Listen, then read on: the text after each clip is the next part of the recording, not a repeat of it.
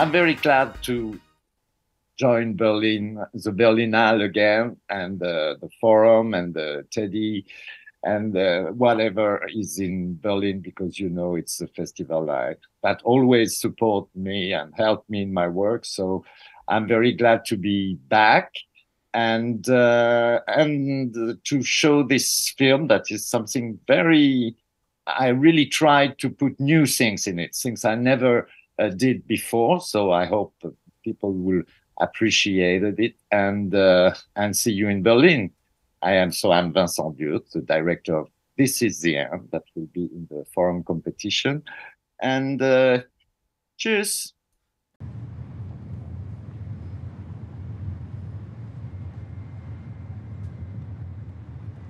Los Angeles se déploie sans fin dans la nuit qui avance, zébré d'hélicoptères scintillants. La course coûte une petite fortune. Ma visa passe sans problème.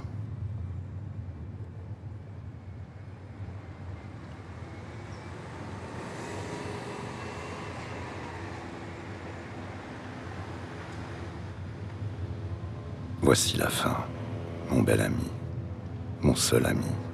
J'y suis maintenant, en plein dedans, au beau milieu de la fin.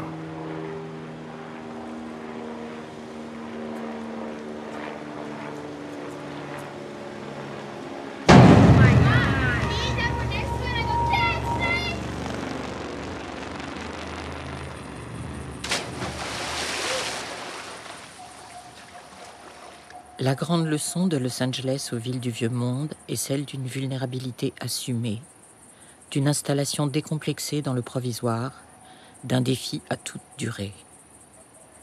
Au premier abord, l'expérience urbaine s'y réduit à presque rien, à une matière si pauvre et si lâche qu'elle en devient presque évanescente.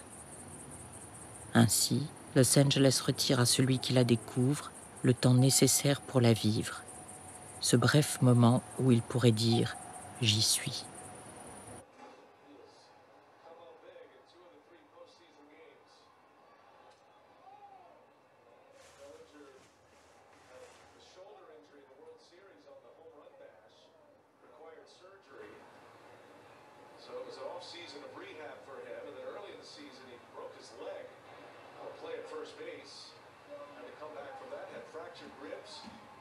Hi, welcome to the Teddy TV. My name is Zsombor Bobák, and this time we are talking about the film This Is the End. Hi, mm. welcome, welcome to the Teddy, welcome to the Berlinale, or probably I should say welcome back to the Teddy. Yeah. Um, let's maybe start with um, how or or how did this project come about? This is the uh, at the very beginning, it was more uh, as a, an essay about uh, a sentence of Jean Baudrillard that said that uh, in Europe we to- we talk about this idea of the end, you know, of the collapse. Yeah. Uh, uh, all the time, collapse of art, of love, of culture, of uh, of reality, whatever. And he would say that in America, it's already happened the end mm-hmm. so uh, it was kind of a metaphor but uh, i took it in the poetical sense and I, I wanted to go to los angeles and and check that idea uh, and meanwhile i really happened to meet Dino Koutsolioutos uh, on internet, and and uh, he was in LA, so inviting me to join him, and then arrived COVID, yeah. and then arrived this my discover of. Uh, I mean, rediscover of the American poetry and how lively and important it was in America uh, overall during that lockdown, where it became kind of a resistance, cultural resistance yeah. to, to the void that was all over. So all this together made the film and obviously the help of uh, arte and my producers that encouraged me to mm-hmm. to go on yeah yeah it's interesting that you say that there was this very intense mix of outside forces as well that shaped the film to a great mm. extent mm. like covid as well can you tell us a bit about the production process Yes, uh, uh, this first idea I had, and it was called in French "La fin de tout." That is more or less the same meaning that this is the end. And um, I wrote a little uh, project, like a big poems, you know, with already this idea of the swimming pools and and the the end, uh, the the end of cinema. Hollywood is always using the same things now, making you know number one, number two, number three uh, of this, and I sent it to Arte La Lucarne. I think she will be in Berlin. Uh, Rasha Salti was uh, doing the programs for this uh, this uh, kind of films. La Lucarne, you know, they made film with uh, Sokurov, with Chantal Akerman, with mm. it's very very good with Tsai Ming-liang. This famous Days film was uh, La Lucarne thing. So I sent it like this, and obviously she liked the project. We had a meeting in December. Yeah. And then there was a lockdown, and I received a phone call during the lockdown. I was in Normandy, mm-hmm. and they said, "We like the project, and uh, let's do it." So it was a, mm. a good news, and overall, is uh, let's do it. But when and how, this yeah. is well, more complicated. But the the first uh, motor of the thing was really Arte and my producer that yeah. really pushed me to to believe in it and to do it and say you're saying this is the end so now it is really the end so let's go yeah very fitting indeed um, in a way, memory is is a central element to the film, um, but also there is a very um, complex um, working with different temporal dimensions in the film. Mm. Somehow, mm. like these classical categories of past and present and future collapse in the film. Can you tell us a bit about this aspect? Yes, the the the the, the idea of the, the, the plot of the film is that I found I find in on Facebook uh, a face that reminds me someone I knew yeah. 40 years ago, much before the gay internet and all that. Mm-hmm. So uh, you know, the, the, in Facebook there is this category you may know, and there is yes. few names. Yeah. So, and I saw the picture of uh, Dino Koutsoulioutsos, and he, was, I, I, never met him in the reality, mm. but he was exactly the portrait of a Greek man I met 40 years ago. Uh-huh. And he was Greek too, who died of AIDS in the in the 80s. Mm. And uh, so it, it was the, this time of re-seeing someone after 40 years, you yeah. know, the, everything has changed overall in the gay life and uh, and to decide to join him to kind of, of redo the thing we do 40 years. So there were already these two times. Yeah. And then arrived the, the the present. I mean the the COVID and all what happened during that moment. We had a very it was very difficult to get visas to go there, but we yeah, had the first ones from Paris to Los Angeles.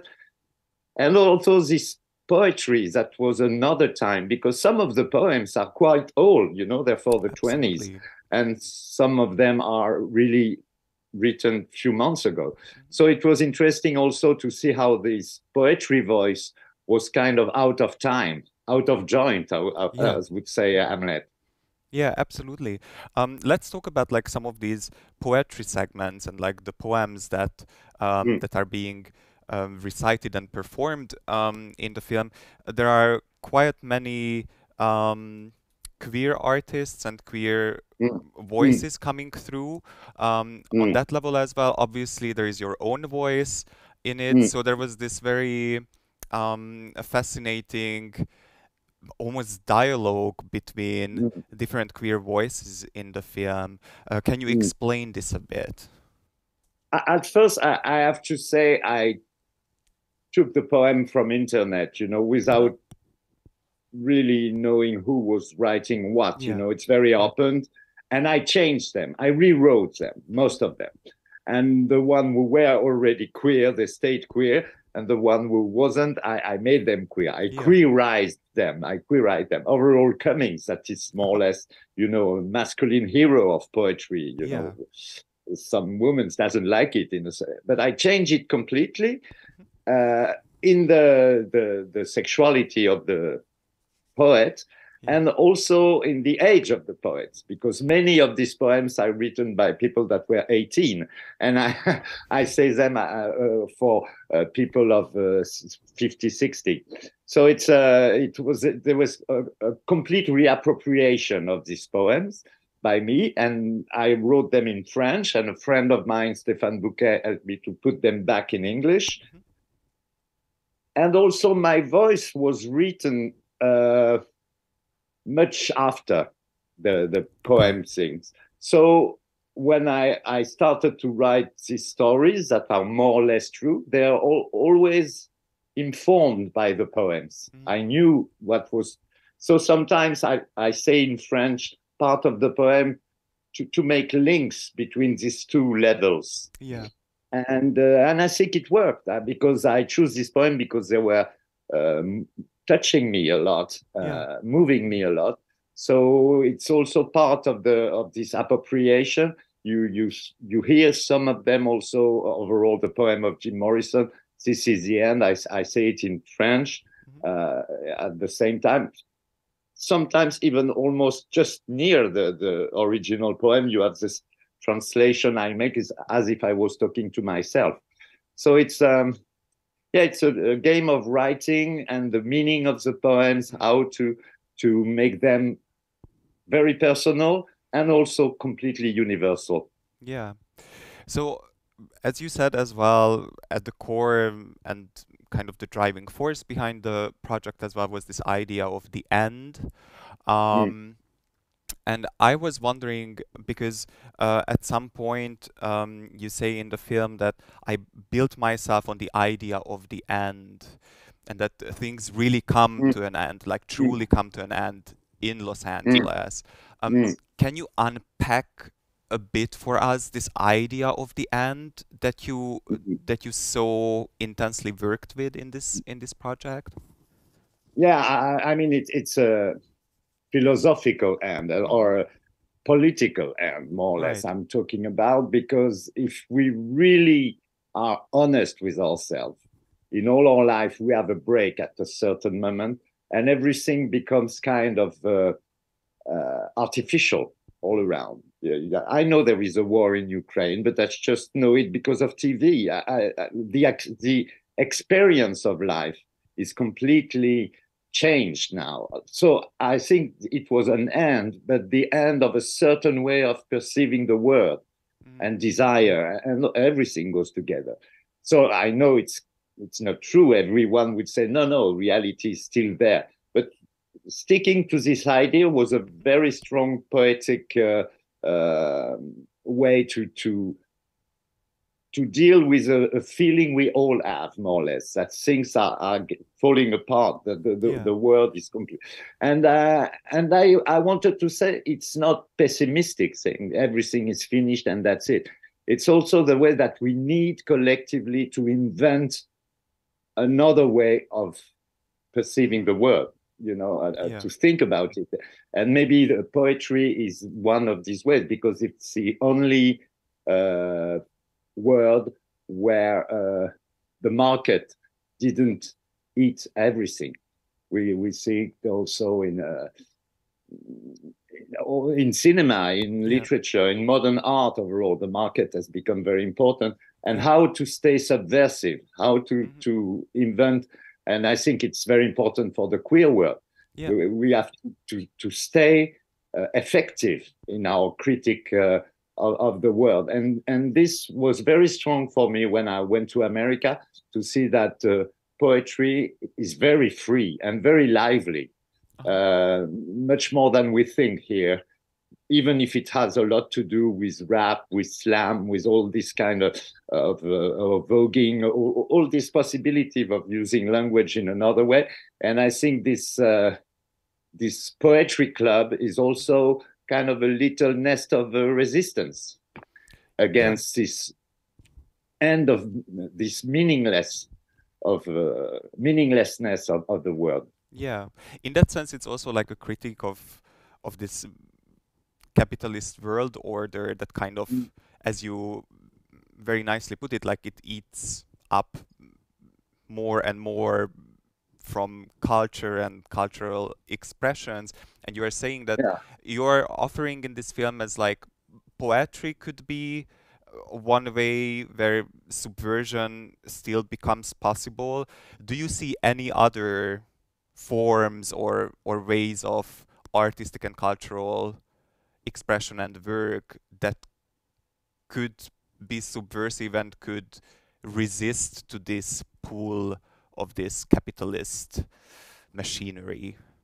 I, I, don't have uh, any uh, real solution, but mm. what I really think is that each of us, artist or not, has to make kind of a of um, introspection to to to accept that in a certain way we all have to deal with this world that we think is already finished but yeah. we we continue to to feed him with uh, some time. And i think uh, if there is a collective consciousness of this need to invent another it's not only poetry it's all the relationship between one another between the intimacy and the collective between our private lives and our public lives you know so so art deals with that.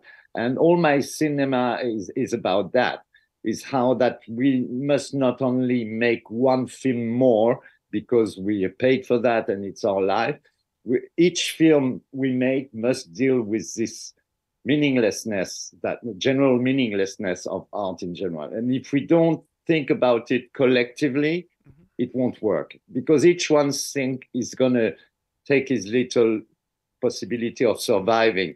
And uh, I think it's uh, it's already lost this, and we see it with the ecological issues.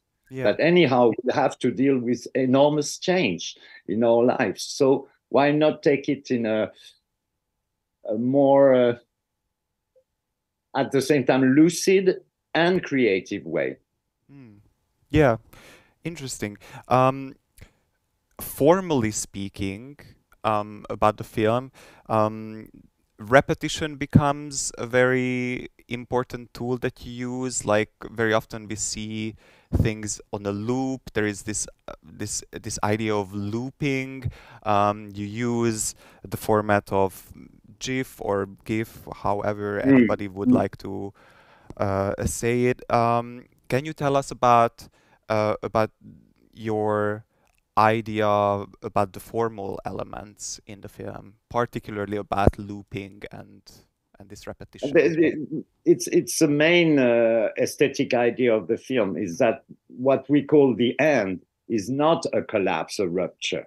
It's only that things come in a infinite loops that yeah. repeat. And you can, I really felt it, for example, in the way of life of the gay district in Los Angeles, uh, West Hollywood, where everything is settled to, to be repeated all the time. Even uh, desire, you know, with these apps you have, and you can say what you want, and and it's there, there is no possibility of a rupture, you know, of a complete change yeah. because we're completely trapped in those loops and also in a certain way these loops uh, regarding sexuality for example are also uh, yeah another way to touch each other to and and the fact that these two men are uh, 60 and 70 uh, means also that this loop is also a way of getting old you know a way of of entering kind of a um, wiseness, a kind of a, a peace also. So I, I, didn't want it to make like if life was only repetition. It's yeah. like a, a, loop we have to enter and make uh, uh, grow in a certain way and to, to work on it and, and make it more less violent, less. Uh, uh, so so this was the idea. I, I don't have a, a, a real yeah talk about that. I cannot formulate it with words, but I, I had the feeling that in my life and overall when I arrived there in LA, everything was kind of uh, endless repetition of the same with this feeling of death. You you you feel very strongly and even with young people. So it seems that we are kind of trapped in our identities like that do, doing what we're supposed to do. Even subversion is kind of in the in the same uh, loop. And uh, because maybe we don't yes think about it collectively and in the political uh, power of this loop that yeah. can be something very strong also if we use it in another way mm. and i think modern art does it in a certain way the, the, contemporary art deals a lot with loop with videos with gif with uh, yeah andy warhol was already already working on that and it's uh, the, our relation to time also mm. and to time is to to death i mean to to I don't know how you say in English, transcendence, transcendence. Transcendence, yeah. You know, the idea that something is bigger than us. I'm not a Christian or whatever, and I can see in America it's a, also a market. you yeah, have all absolutely. kind of preachers, sects, uh, and all that, and uh, so we have to deal with uh, with poetry, with beauty. That, as for me, as a almost as a cult, mm. but to to invent the beauty of the world that is coming. That yeah. is a, a, little bit what I try to do, and I do it with my own uh, tools mm-hmm. that are queer tools. Yeah, yeah, absolutely. Um, I noticed at the beginning of the film that you dedicated this film to your mother.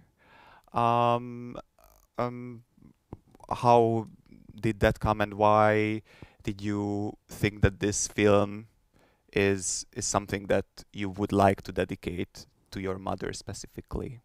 Uh, it's very sad, but my mother died during the editing of the oh, of I'm the sorry. film, and uh, I mean she was quite old. She was ninety one, mm. and uh, she always phoned to me saying, "So, where, where, are you finishing the film? I want yeah. to see the new film."